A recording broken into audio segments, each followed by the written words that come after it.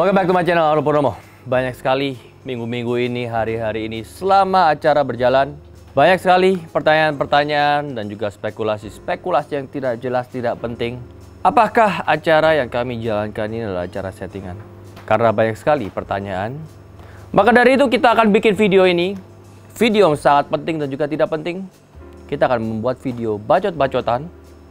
Klarifikasi. Apakah ini acara settingan? Yang pasti, kalian akan temukan jawaban ini sebentar lagi bersama saya, host Anda yang tidak jelas, Arnold Purnomo, dan juga Chef Junaidi, dan juga Harta Tata Renata. Jadi gimana? Apakah ini settingan? Ya bentar, orangnya belum datang kita panggil ya. Saksikan terus di Bacot-Bacotan. Jadi gini, selama ini semakin minggu semakin menjadi-jadi, semakin 5, 6 dan juga season ke-7 ini semakin banyak spekulasi. Apakah acara Master Chef ini itu adalah acara settingan? Tanggapannya gimana itu untuk kalian?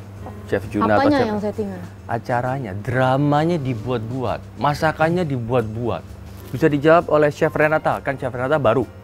Bingung tunggu, apanya yang yang dibuat-buat? Jadi maksudnya Drama, drama orang-orang. Ini santai aja kan? Santai jadi aja, ada Bang. ada skripnya gitu. Jadi ceritanya ini Ya, harus dibuat-buat semua dibuat-buat. Jadi kan kan lu paling paling paling junior ya dari season 5 kan. Hmm. Nah, Jadi tanggapan lu awalnya apakah itu apakah ini settingan gitu? apanya dulu yang settingan? Kalau dramanya ya enggak emang orang Indonesia banyak drama. Pas datang kadang-kadang ditanya kamu hari ini mau masak apa? Wah, dulu almarhum ibu saya orang orang ditanya mau masak apaan. Emang mereka ya banyak drama actually. Tapi satu sisi kalau menurut gua ya, Ya. si drama ini lumayan normal muncul dari mereka karena mereka di karantina kan. Ya. Jadi kondesan misalnya ada berapa? Ada 20. Ya. Ya, terus mereka setiap hari ketemunya itu-itu aja. Tiap hari satu. yang mereka ketemu itu. Apalagi Ah. mereka kan setiap dari daerah beda-beda ya. Ada satu dari sini, satu dari sana. Sing- Umurnya beda-beda. Ya. Jadi ya udah pasti ada apa ya? Udah pasti ada yang ada yang nggak suka atau nggak ada yang apa. Tapi mereka stuck gitu mereka. Ada yang cewek, ada yang cowok, ada yang berkeluarga, ada yang tua, ada yang muda. Chef Juna gimana? Sebenarnya kalau justru bingung yang dimaksud dramanya nih apa. Contoh kejadian Edi Curang. Misalnya, Edi Edi, was it Edi, right? Season enam, season That- enam. that's his name, right? ya itu emang curang tapi. Betul, makanya drama ini seperti apa? Kayaknya Edi drama tuh Curang. lebih ada yang suka-sukaan, ada yang berantem gitu kali. Edi Curang. No, ini emang curang, emang ketangkap sama Arnold. Ini nggak boleh. Bawa resep ke sini nggak boleh. You're disqualified. Terus pacaran. Emang pacaran. ya emang pacaran gitu loh. Sekarang kita mesti gimana? Kalau mereka memang pacaran dan mereka sampai sekarang pun masih pacaran Ya. setelah keluar dari sini. Betul. Gini deh ya, kalian yang di rumah kalau ngerasa ada setting-settingan gitu, lihat muka saya aja deh. Ya, selama karir saya di dunia entertainment tidak pernah ada satupun yang namanya setting-settingan. Kalau sampai ada settingan, pasti tidak ada saya di situ. That I also agree. Saya nggak mau. Saya tidak akan pernah mau masuk ke dalam sebuah acara yang membodohi masyarakat. That I Ya. agree. Ah. Karena itu secara tidak langsung adalah mencari duit haram. Ya bukan sih lebih ke maksudnya ya kita bertiga apa ya, ya tukang Ya. masak gitu loh. Maksudnya Apakah kita ada drama? Kita, kita ada dari industri F&B sebelumnya mungkin. Terus kita terjun ke sini tiba-tiba I imagine ada RCTI nelfon saya, halo kita mau tawarin ikut acara gini. Terus tiba-tiba keluar ada skrip ini nanti ada percintaan sama ini kamu harus ngomong ini nggak yang nggak akan bisa gimana sih? Orang kalian lihat, lihat kan kita ada beberapa kali main iklan yang bareng buat ini. Kaku kan kayak kanebo. nah terus kalau misalnya di antara kita ber- bertiga, apakah kita ada drama atau settingan? Emang apakah kita pernah ada drama apa? Lah, makanya, apakah hari itu? Well, disagreement pasti ada. Mau siapa yang harus pulang, siapa yang ini, bla bla. Makanan siapa lebih enak. Different judges punya different opinion. That's why juri itu selalu ganjil. Tentu ada disagreement di antara juri kadang-kadang. But kita bisa melihat perspektif satu dengan lainnya. Yap. Dan maka dari itu kita selalu ganjil kan. Jadi kalau dua udah bilang A ya yang satu mau ngambil. Benar, kalah ya. You know. Tapi itu bukan drama itu. It's not drama. It's just Discussion, tukar pikiran. Tukar pikiran. Nah sekarang gue tanya mas, apakah ini formasi juri terbaik Master Chef? Bisa dijawab Chef Juna? Saya tidak bisa Siapa jawab yang itu. Kenapa tidak bisa jawab itu? Karena itu semua adalah uh, yang menonton yang melihat. Tapi apakah kita klop bertiga? Yes. Konco. Ya. Nah sekarang ini, yang fenomena season ketujuh ini lucu gini. Apa itu? Yuri. Kenapa kita pertahankan Yuri? Hah?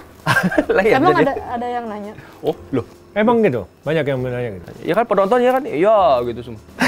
Do you really think kita set up challenge buat seseorang gagal? Ya enggak juga dong, it's a fair game gitu ya. Benar. Jadi kalau memang ternyata di pressure test ada yang lebih Buruk. buruk dari Yuri, kamu pikir kita di belakang juga nggak gigi jari? Sorry ya, no offense, jujur aja. Jatuhnya bu- bukan beruntung ya maksudnya ya orang ada banyak. Ya ada yang lebih parah aja. Iya ada yang gitu. selalu ada yang lebih buruk. Oke, just to conclude it all ya untuk me- apa konklusinya apakah ini acara settingan? Yes, karena kita yang set challenge-nya itu apa, kita set em, apa yang mereka harus eh, lakukan per challenge, aturannya kita yang set. Dan sisanya apa interaksi dan lain-lainnya itu itu tanggapannya mereka gitu loh. Jujur ya sebenarnya semua kegiatan apa pun di mana ada perkumpulan orang-orang dari beda-beda tempat Pasti di ada perseteruan. Selalu ada drama. Itu sama aja kayak Pasti. orang baru masuk sekolah baru gitu. Bener. Pasti kan yang ini ngelabrak si ini itu di sekolah bedanya di situ nggak ada kamera yang emang sengaja langsung, wih ada yang berantem nih disorot. Belum pakai musik, jeng jeng jeng jeng jeng jeng jeng jeng jeng. Oh, terus terus orang-orang pada tanya kan Jadi orang, misalnya yang satu lagi ngomong, eh masakan lu kan nggak enak, udah gitu doang. Tapi sampai TV, masakan lu kan nggak enak, nyeng, terus gitu. Jadinya ya emang dramanya ada, Lima tapi kali jadi lebih- lebih, dramatis nggak sih? drama. drama dramatis bukan berdrama itu kan Kayaknya semua bersandiwara. kehidupan orang kalau ada kamera sama backsound jadinya beda. ya nah sekarang dramatis. sekarang ya. pada tanya kan orang juga pada tanya, eh itu kok kenapa sih musiknya Master Chef segitu ini? Kenapa kok kontesten seperti ini? Ya namanya juga supaya membuat adegan ini lebih dramatis. Coba kalau misalnya kalian, kalian yang di rumah duduk di depan dapur saat ibu kamu masak atau siapa lagi masak dua jam, bosan nggak kalau bisa nggak ada lagu? Bosan nggak kalau misalnya tangannya nggak kepotong atau kebakar? Kalau nggak ada interaksi? Coba nonton di dua jam di TV, acara ini nggak laku. Nggak ada yang itu kan kemasannya, itu, itu kemasannya ya. Masalah lagunya terlalu kencang, backsoundnya terlalu ini. We have no power on that one. Ya, benar. Itu tim editing, itu bukan kita. Yap. Kita hanya bekerja ikutan di lapangan. Jadi kalian komplain-komplain gitu musiknya kegedean gini, emang bukan kerjaan kita, kita kerjaan cuma apa? Makan, marahin orang, mulangin orang, menangin orang, beres. Dibayar. Dibayar. nah, oke pertanyaan, next. Gimana rasanya menjadi acara yang nomor satu talent search? Kalau gua simple, gua di hire untuk ngerjain lapangan, gua ngerjain lapangan. Selesai. Dan masalah itu ternyata dapat award, Yap, ya artinya acaranya bagus. betul. Thankful, thank you. Yap. Artinya semua yang terlibat pasti akan puas. Nah, Tapi apakah kita kerja untuk mengejar begituan? No. No. Never. Ya itu sih, itu sebenarnya bukan cuma kita sih, it's the whole team ya, the whole crew dan lain-lain dan juga ya kalian juga yang menonton. Oke, di sini sudah ada kertas yang dari tadi saya gulung-gulung. Ini yang kemarin kita tulis di Twitter dan juga di Instagram. Jadi tolong dibaca. Oh ini pertanyaan dari mereka. Ya, dan juga eh, reaction kalian. Oke, diambil. Chef Renato dulu. Nggak Ini pertanyaan dari Orang-orang di Twitter sama di Twitter, Instagram. Random. Random, random. Bacain. Harus ada namanya juga Namanya silakan. Oh. Namanya. Santi underscore Embul. Chef kata Mas Isman kemarin waktu jadi black team kompornya di Master Chef tuh tinggal di Maktik. Itu belinya di pasar ada nggak? Apa? Mak Maktik apa? Nggak ngerti. Oke, next, next, next, next. Kompornya ya, kompor gas cetek-cetek gitu loh bunyi. Apa? Grace Zilda, Chef jawab please. Seburuk apa sih rasa masakan peserta yang sampai dilepeh gitu? Padahal masakannya kelihatan fine aja di mata aku. Di matamu, bukan di mataku. Matamu itu loh ya. Untungnya makanan tuh masuk mulut ya, bukan masuk mata. ya. Jadi jawab gimana? Ini yang ditanyakan Chef Renata. Seburuk apa sih? Ya seburuk sampai dilepeh. Jadi apa ya? Apalagi kalau kontestannya masih banyak. The amount of makanan yang kita harus masakin mulut, kunyah-kunyah, terus rasain itu kan ada banyak ya. Dan ya belum tentu kita lagi di posisi lapar yang mau makan apa aja lagi. Benar. Loh, tapi kan gini, mereka masuk galeri dan mereka tidak biasa dengan dapurnya, peralatannya dengan waktu. Dan normal. Jadi tiba-tiba ya, misalnya sa- satu orang ini dapat satu challenge, harus masak dengan waktu segini, bahannya cuma boleh pakai ini ini ini, pasti panik kan. Orang yang kalau panik gitu ya bikin masakan gagal ya banyak, yang maksudnya gagal tuh ya gagal total. Yang kalaupun saya dikasih gratis pun saya buang. Pertanyaannya adalah gini, kenapa kalian komplain kalau kita yang lepeh? Tuh, Ya. Dalam makan tuh. artian kesannya tidak sopan, bukan ini bukan masalah sopan tidak sopan. Tapi kalau memang terlalu asin, dan masuk mulut kalian, apa kalian tidak bereaksi untuk mau mengeluarkannya? That's reflex. Uh, Emang ada yang bilang sense. nggak sopan? Ya nggak sopan, ya, makanan tanya. masa mubazir? dibuang. ah. Nah ini kan is- kompetisi Ya, i- masak. exactly. Kan mereka yang di rumah ini banyak yang ya Bukan acara kita Mereka bertiga cuma makan melihat dan juga gratis. mendengar, tidak mencicipi. Udah, konklusinya kayak gitu. Oh wait wait, gue mau klarifikasi satu. Kenapa kok waktu di video Harta Tata Renata gue lipetin tisu? Tolong dijawab. Karena saya keringetan total. Panas banget gila di luar gitu. Dan Renata ini memang orangnya kalau panas cepat keringat. Maka dari itu sebagai koncos yang baik, tak lipet-lipet tisu, tak kasih no. Makanya, Hmm. Buat ngelapin keringat. Tuh, terjawab kan klarifikasi. Oke, Emang Jun. pada nanya itu? Tanya. Detail juga ya orang-orang. Tanya masuk dagelan gak jelas. Susah aja. KS Tarulijis. Kalau duplicate disk itu resepnya dikasih tahu atau emang peserta pure ngasal? Good question. Kalau duplicate disk itu mereka kan mencicipi. Eh, biasanya, bukan biasanya, memang yang di bench mereka bahan-bahannya sudah ada semua. Hmm. Jadi itu tinggal mereka punya nalar komposisi daripada rempah-rempah dan bumbunya. Simpel ya. Simple. Oke, gua ambil nih satu pertanyaannya. Tizen banyak maunya. Ni, oh, gua, gua ini nggak bisa baca bentar. Nisrian, Nisrina Ara, Ari, Miss Rina Arin. Arin Nisrina Arin. Thank you. Mungkin nggak chef? Kalian bertiga kerjasama buka restoran bareng. Seru tuh kayaknya. Kenapa tidak? Modalin. Modalin. Ya, gua modalin. Lo, lu mau nggak? Ya kenapa tidak? Ya gampang lah itu mah. Lu nih nggak mau. Mikir dulu deh. Kenapa mikir? Kenapa, kenapa, kenapa Three head, three head in one kitchen is kind of hard. It's different than Iya. Ya, ini mesti jelas ngobrolnya. Eh, bu, mungkin mungkin, gampang tidak. Tidak betul. Kolaborasi? Kita bertiga tuh otaknya lumayan beda-beda total loh. soalnya. Bisa, bisa. Beda banget. Kalau kolaborasi saja bisa. Yang paling brengsek di sini siapa? Hah? Menurut kalian? Arnold. Loh. kenapa? Loh, kenapa definisi brengsek? Lihat aja mukanya. Tuh kan, orang sangka saya yang jahat kan, Loh, lihat tuh. Every season, dari season satu pun juga bukan saya. Loh, kok gua? Eh, muka gua emang kayak gini. Kok di kok dibilang? Saya hanya tidak punya hati aja, jadi langsung kejam. lu setuju, Kalau? Arnold, Lu setuju nih gua eh, brengsek? pilihannya apa? Emang emang ada yang bilang Juna brengsek? Loh enggak, ya kan gua tanya. Jadi mana brengsek? Lu Lo nggak brengsek mau dalam hal Juna apa dulu tegas nih? iya ini kan pertanyaannya kan Brengsek. brengsek. Ya tolong diklarifikasi. Brengsek seperti apa? Ini enggak soalnya dia tuh nggak bisa jaga muka. Jadi misalnya ada makanan, Ah. terus makanannya ya mungkin kita tiga-tiganya we think of the same thing, tapi dia mukanya tuh paling obvious dari jauh udah ada udah ada muka tersendiri gitu. Oke, oke, oke, oke, terus. Intinya dia tuh bisa tanpa secara tidak langsung seperti mengejek orang lain dengan nggak ngomong apa-apa sama sekali. Iya nggak sih? Oke, oke, oke, terus. Oke. Your favorite bubble tea? Chef, emang sega enak apa makanan kontestan sampai dilepeh gitu? Udah. Udah tadi udah jawab. Oke, udah jawab. Oke, jurang, jurang, jurang. jurang. Yang paling suka marah di sini siapa? Ayo. Nah.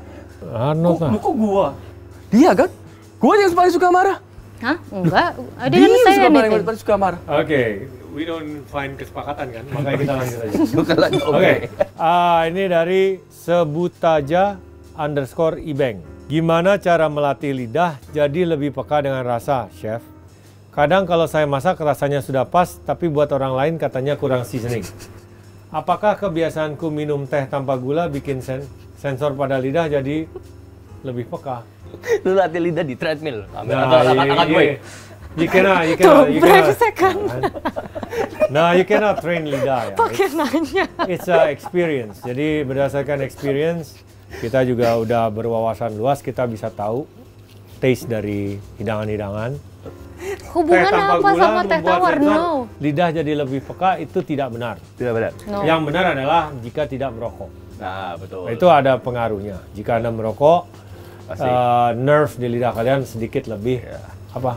Nggak, nggak peka. Nam-nam ya, Nggak peka. kurang peka. Mau latih tuh. And honestly, gue kenal beberapa orang yang emang apa ya, kayak di bagian perasa itu kayak orang yang tone deaf. Iya. Kayak Ada. ada. Ada kontestan di sini nggak usah disebut. Kayaknya ad- emang ada deh Emang beberapa. Ada kontestan di sini yang Jadi yang kalau dikasih makanan dia udah nggak bisa nerka eh, isinya tuh apa aja, me- memorinya sama flavor tuh ada, kayaknya ada deh Iya, beberapa orang. kayak kayak dengan makan sambal di sini. Nah. kayak orang buta nada Iya. gitu kan ya. Oke, gua buka satu lagi. Oke, ini pertanyaan. Unik, Unika underscore titik PRB. Chef mandi berapa dot dot dot Hmm? kali sehari? Berapa kali mandi? Berapa kali sehari? Dua kali. Lu mandi berapa kali sehari? Tergantung. Tergantung. Oke. Saya mandi 0 sampai 3 kali sehari. Oke, Dimas underscore Tergantung Ananda situasi. Adakah rencana Chef Arnold untuk gondrongin rambut kayak Chef Yuna? Nggak ada. Why not? Gondrongin dong. Gue jadi kayak soba, kayak mafia Cina, Hong Kong, entah. Banyak. Oke, bukan. Gila panjang banget. Ambar Wati Yuli. Chef mau tanya, kenapa Masterchef Indonesia beda nggak kayak Masterchef luar? Kok di Indonesia kayak marah-marah dan serem gitu, sementara di luar nggak gitu? Terus kenapa pemilihan pesertanya juga beda? Ada yang skill masaknya kurang tapi diterima, sementara di luar orang yang udah jago-jago skillnya yang masuk. Yang terlihat jadinya kalau di Masterchef luar, lulusannya yang juara tiga besar diakui sampai ke mana-mana, sementara di INA malah jadi celebrity chef kebanyakan. Hmm. Lulusannya yang Kamu jawab? Kamu Gini. yang terlihat jadinya Ya, gue mau jawab ya. Ini secara serius tuh kita jawab. Ehm, tolong diambil, jangan dipotong-potong untuk kalian semua para media atau mau ambil Instagram, memotong-potong ini. Ini video jangan dipotong. Standard of living di Indonesia itu berbeda dengan standard of living di luar. Orang di Australia dan lain-lain, mereka makan ke restoran itu masih normal. Makanan yang mereka, lifestyle-nya sudah berbeda. Di sini itu sangat banyak sekali budaya dan juga daerah. Setiap daerah memiliki standar yang berbeda-beda dan juga quality of life yang berbeda-beda. Mereka tidak semuanya ke restoran, tetapi mereka masak makanan yang Indonesia yang lebih enak, lebih enak daripada orang-orang yang ada di kota di Jakarta, ya kan? Standar pengertian pengetahuan itu kita tidak bisa dibedakan dengan negara lain. Paham? Apakah itu menjawab? Dan juga dibilang apakah di luar tidak marah-marah? Well, you gotta Lihat watch. makanannya Kalian no, dong. you gotta watch MasterChef Italy. You gotta watch US. MasterChef US juga masih kadang-kadang. And you have to watch MasterChef Canada. Ya. Ya, that's uh, masih banyak lagi. So kalian kalau cuma mau bandingin Indonesia dengan Australia, yang which is paling dekat dan itu yang mungkin kalian tonton, ya memang agak berbeda. Australia is all about lifting up and all that stuff, but that doesn't work in Indonesia. Ya, dan No, and then again standar makanannya juga beda. ya sana makanya Kita nggak pernah marah-marah kalau emang makanannya bagus. Masalahnya ini acara bisa dibilang kompetisi untuk amatir, amatir. emang amatir. tapi yang mengkritik Ya. profesional dan kita harus mengkritik sesuai dengan uh, professional standard. Ya Benar udah jelas kena marah. Benar sekali. Ini jawabannya seperti ini. Masterchef Australia memang sangat bagus. Masterchef Indonesia lebih berbudaya karena hidangan kita lebih ada tradisi, em, tradisi dan juga history. Australia, Amerika, European kurang. Australia itu adalah negara baru dan mereka makanan tradisionalnya apa sih? Fish and chips, meat pie. Indonesia banyak kayak. Jaffle, exactly. Story, historinya nggak ada. Ini adalah Indonesia, negara seperti kita, culture-nya itu sangat strong. Resep turun-temurunnya dari nenek moyang itu udah ratusan tahun. And also ini juga Ya. MasterChef Indonesia, bukan MasterChef kota-kota besar. Betul sekali. Jadi bukan berarti pesertanya cuma dari kota-kota yang Yap. uh, ya mungkin sudah ada restoran-restoran bagus. Sebenarnya kan dari semua daerah juga di itu ini ya. Oke. Yang udah pasti, I think the knowledge di setiap daerah, Pertanyaan the food terakhir. trend gitu-gitu pasti beda Mas. Ya, betul sekali. Pertanyaan terakhir, Chef Juna. Lala Nailah 38. Menurut Chef Arnold, Chef Renata, dan Chef Juna, yang berpotensi masuk ke grand final siapa? Kalian mau tahu itu? Hah? Masuk grand final di season 7 ini. Ya. Kamu mau tahu itu semua? Saksikan terus MasterChef Indonesia setiap hari Sabtu dan juga Minggu jam 16 di RCTI. Oke, bukan di channel saya. Kalau saya yang berpotensi adalah Yuri. Biar kalian semua, biar kalian semua makin pada gedek dan makin kesel. Kenapa? Setiap orang memiliki potensi, betul tidak? Tinggal diasah kan? Oke? Jadi kalau kalian mau bilang settingan, mendingan saya set sekalian mendingan ya. Sama kayak dituduh mencuri terus, mendingan sekalian gue mencuri beneran. So, Yuri, all the way. Oke, itu adalah klarifikasi kita bertiga. Apakah ini acara settingan? Kita akan bacot-bacotan terus. Dan juga kita akan close. Like, subscribe, karepmu.